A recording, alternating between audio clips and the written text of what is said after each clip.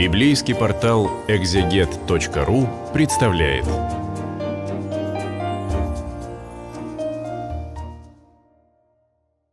Сегодня на библейском портале «Экзегет» мы продолжаем наши беседы по книге «Исход», и сегодня мы будем читать 32 главу этой книги.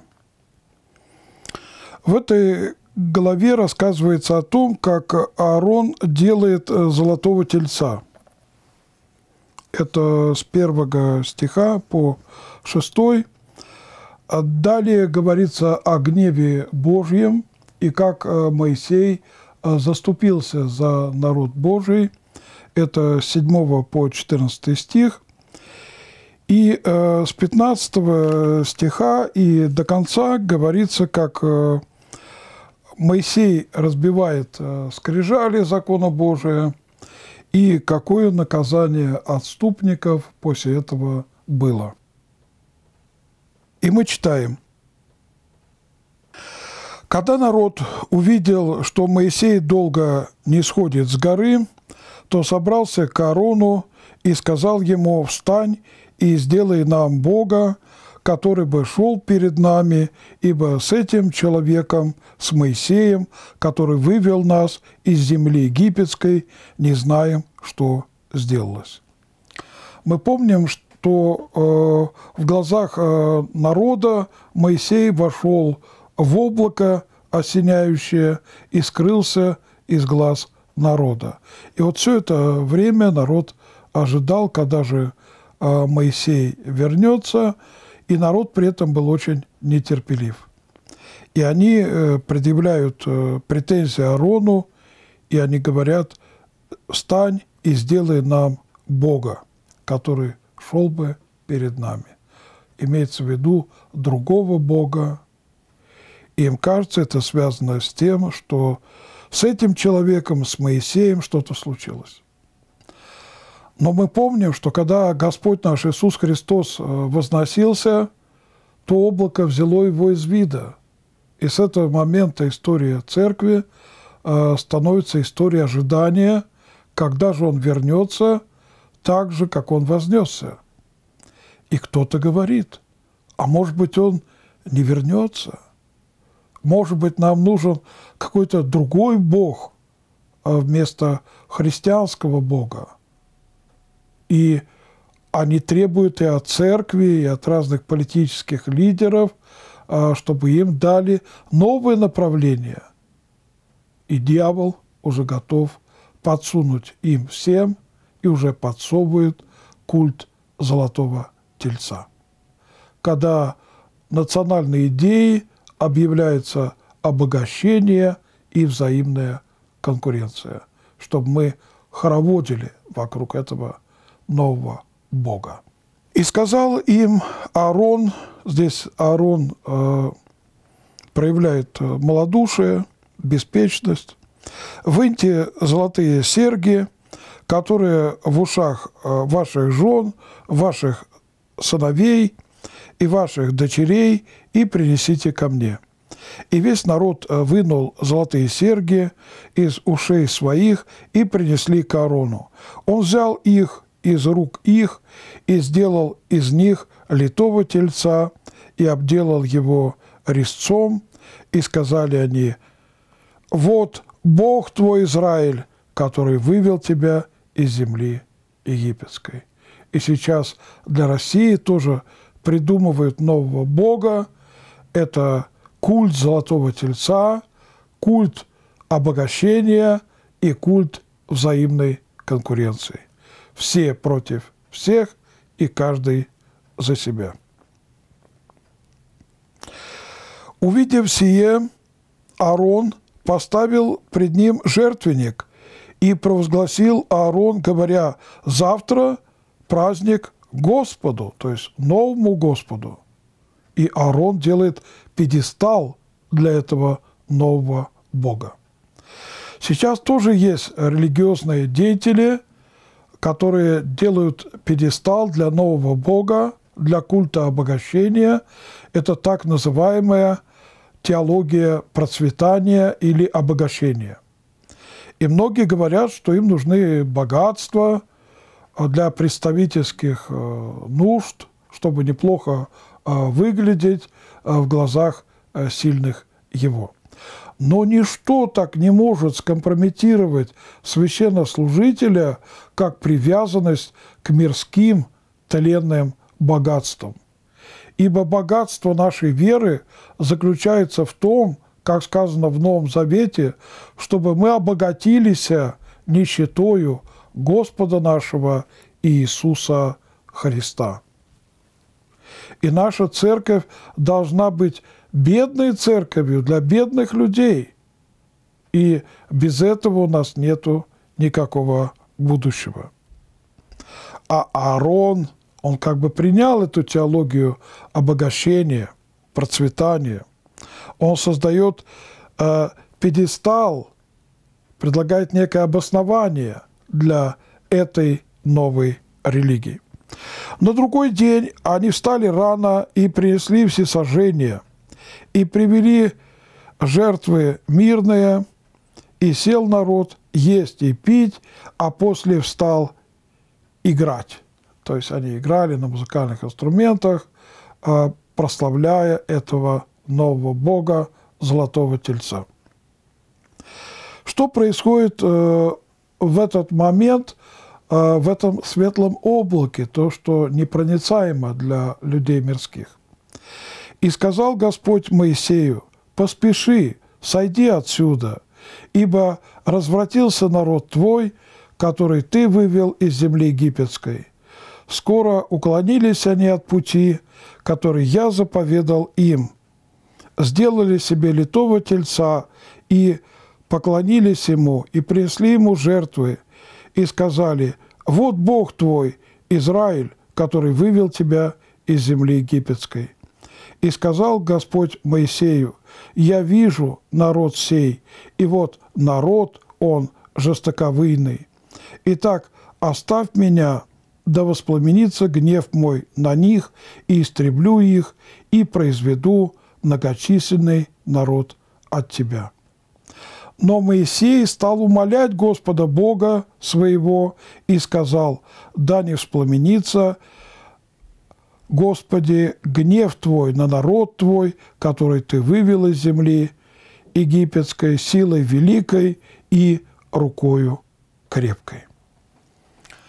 Почему Отец Небесный не сокрушает нас, христиан, наши христианские церкви, за то, что мы не соответствуем имени христианина? Как апостол Павел пишет в послании к римлянам, ради вас имя Божие – хулиться среди язычников. Потому что есть ходатай за всех нас пред Отцом Небесным. Это Сын Божий, о котором сказано в Библии, един ходатай и един посредник между Богом и человеками, человек Христос Иисус. Своим истинным богочеловечеством Он ходатайствует за весь род человеческий. И если бы не ходатайство Иисуса Христа, то Божие правосудие прокинуло бы нас в бездну наказания, где плач и скрежет зубов в аду. И Моисей стал умолять Господа, Бога своего, и сказал, да не воспламенится, Господи, гнев Твой на народ Твой, который Ты вывел из земли египетской – силой великой и рукою крепкой, чтобы египтяне не говорили, на погибель он вывел их, чтобы убить их в горах и истребить их э, с лица земли. Отврати пламенный гнев твой и отмени погубление народа твоего. Вспомни Авраама, Исаака и Израиля, Иакова, рабов твоих, которым клялся ты собою, говоря, говоря умножая, умножу семя ваше, как звезды небесные, и всю землю сию, о которой я сказал, дам семени вашему, и будут владеть ею вечно. Здесь мы видим, что Моисей в своем э, ходатайстве э, перед Богом, он приводит пример ветхозаветных праведников, подобные мы, ходатайствуя перед Богом за собственные грехи и за грехи современников восклицаем перед Ним имена святых, ибо Бог наш не стыдится называться Богом Авраама, Богом Исаака и Богом Иакова, то есть Богом святых. И Бог и явится в реальность этого мира в день суда в сонме святых. И после этого что происходит? «И отменил Господь зло, о котором сказал, что наведет его на народ свой». Что происходит далее? «И обратился, и сошел Моисей с горы, в руке его были две скрижали, откровения каменные, на которых написано было с обоих сторон, и на той, и на другой стороне написано было». Ранее мы прочитали в 31 главе 18 стих, «И когда Бог перестал говорить с Моисеем на горе Синаи, дал ему две скрижали, откровения, скрижали каменные, на которых написано было перстом Божьим». И вот с этими двумя скрижалями, на которых было написано перстом Божьим, на двух сторонах Моисей спускается к народу. Давайте посмотрим э, комментарий – Августин Блаженный, это его трактат на Евангелие от Иоанна, пишет, «Если мы определим число, означающее закон, то это будет 10. Итак, декалог закона, то есть эти 10 хорошо известных предписаний, как мы твердо знаем, впервые были записаны перстом Божьим на двух каменных скрижалях. Но закон – если благодать не присутствует, порождает лицемеров и существует только в букве. Поэтому апостол Павел утверждает, буква убивает, а дух животворит. Так пусть дух сопутствует букве, чтобы буква не убивала того, кого не животворит дух. Но чтобы мы исполняли постановление закона – не нашими силами, но по дару Христа Спасителя. Конец цитаты. То есть человек самостоятельно не может исполнить закон. И причина, как пишет апостол Павел, что закон ослаблен немощью человеческой плоти, то есть человеческого несовершенства. Далее мы читаем 16 стих. «Скрижали были дело Божие, и письмена, начертанные на скрижалях, были письменами Божьими». И вот с этими двумя э, скрижалями Моисей э, спускается с горы к народу Божию.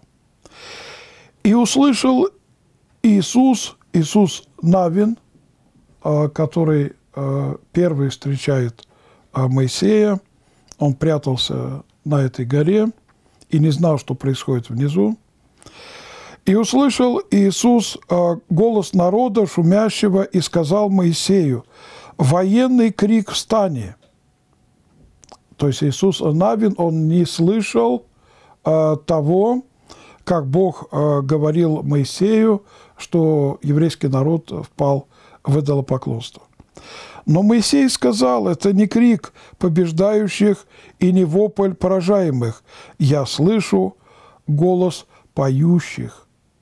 Когда же они приблизились к стану и увидели тельца и пляски, тогда он, то есть Моисей, воспламенился гневом и бросил из рук своих скрижали и разбил их под горою. Почему он это сделал? Апостол Павел пишет, что когда закон э, пришел, то грех усилился, ибо э, сила греха – закон. Моисей спускался со скрижалями, на которых в том числе было написано «Да не будет у тебя других богов пред лицом моим, не делай себе кумира, и никакого изображения того, что на небе вверху, и что на земле внизу, и что в воде ниже земли. Не поклоняйся им и не служи им, ибо я Господь Бог твой, Бог-ревнитель, наказывающий детей за вину отцов до третьего и четвертого рода, ненавидящих меня». И если бы Моисей принес бы эти заповеди, то ответственность этого народа усилилась бы перед Богом. И их надо было бы всех истребить. Поэтому Моисей разбивает эти скрижали, ибо эти буквы Святого Закона оказались начертаниями проклятия для этого народа ибо, не исполняя эти заповеди, они сами погубили себя. И закон, который дан для жизни, оказался источником смерти, оказался бы источником смерти. Поэтому Моисей в гневе разбил скрижали под горою и взял тельца, которого они сделали, и сжег его в огне, и стер в прах, и рассыпал по воде, и дал ее пить сынам Израилевым, и сказал Моисей Аарону, что сделал тебе народ сей, что ты ввел его в грех великий. Нечто подобное Христос скажет тем священникам, которые не оберегали истины веры, которые поддержали культ золотого тельца – он скажет в день э, страшного суда нам, что сделал вам народ, что вы вели его в грех великий, и нам будет очень стыдно. Но Аарон сказал Моисею, да не возгорается гнев господина моего. Ты знаешь этот народ, что он буйный. Они сказали мне, сделай нам Бога, который шел бы перед нами, ибо с Моисеем, с этим человеком, который вывел нас из земли египетской, не знаем, что сделалось. И некоторые говорят, мы не знаем, что сделалось с Иисусом. Он долго не возвращается с неба, поэтому нас начинают привлекать другие боги. Но Христос не медлит, Он долготерпит. Потому что второй раз Он придет не спасать этот мир, а судить этот мир.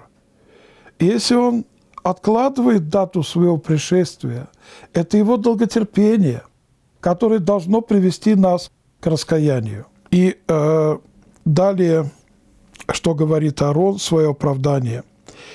«И я сказал им, у кого есть золото, снимите себя». Они сняли и отдали мне. Я бросил его в огонь, и вышел этот телец. Но мы уже знаем, что Аарон делал тельца э, с помощью резца – он так напуган, что начинает лгать. В день суда многие скажут, Господи, Господи, не Твоим ли именем мы пророчествовали, не Твоим ли именем многие чудеса творили?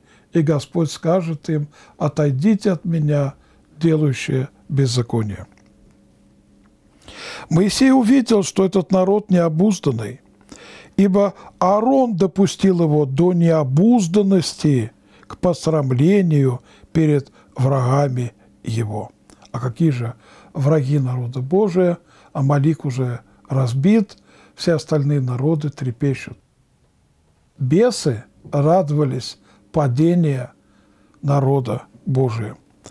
И стал Моисей в воротах стана и сказал, «Кто Господен, иди ко мне».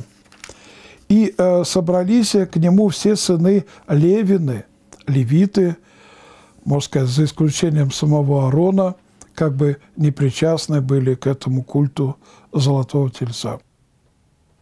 И он сказал им, «Так говорит Господь Бог Израилев, возложите каждый свой меч на бедро свое,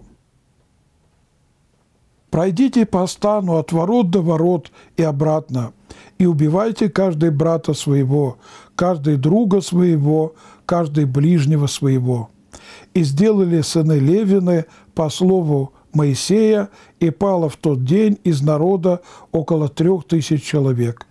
Ибо Моисей сказал им, «Сегодня посвятите руки ваши Господу, каждый в сыне своем и брате своем, да не спошлет он вам сегодня благословение». И Христос говорит, и враги человеку домашние его. Почему Моисей перепоручает наказание э, евреев левитам? Потому что они видели и знали, кто участвовал в этих плясках, кто поклонялся этому тельцу. Они действуют как свидетели, ибо по закону э, народа еврейского свидетель обвинения первый потом бросает камень э, в того, кого приговорили к смерти.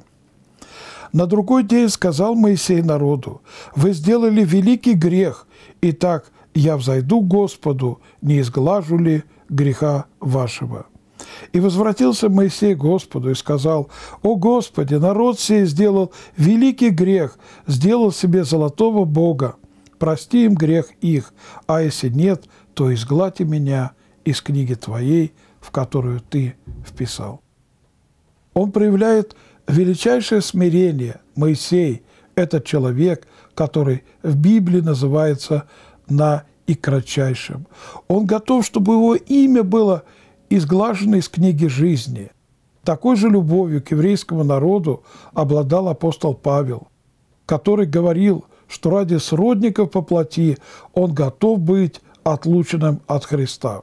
То есть сам был готов находиться в аду, только бы сродники его по плоти обрели бы дар спасения вечной жизни во Христе и со Христом. Итак, Моисей готов быть изглаженным из книги жизни, погибнуть, только бы народ был спасен. Господь сказал Моисею, того, кто согрешил предо мною, изглажу из книги моей.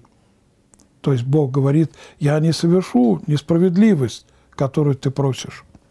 Итак, иди, сойди, веди народ сей, куда я сказал тебе. Вот ангел мой пойдет пред тобою, и в день посещения моего я посещу их за грех их. То есть, если они будут еще согрешать, наказание не замедлит и придет к ним. И поразил Господь народ за сделанного тельца, которого сделал Аарон. Итак, сегодня мы окончили э, чтение 32 э, главы книги исход, если будем живы, Господь позволит, то в следующий раз мы будем читать 33 главу этой книги. Подписывайтесь на библейский портал «Экзегет», чтобы вовремя получать информацию о новых беседах библейских на нашем портале. Спаси Господь. Берегите себя.